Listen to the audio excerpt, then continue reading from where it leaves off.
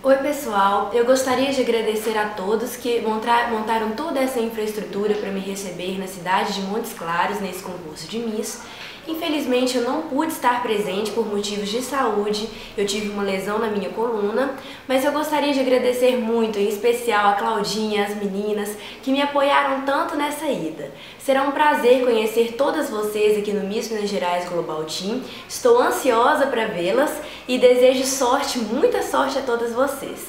Espero que possamos ter outras oportunidades e agradeço novamente. Um beijo a todos.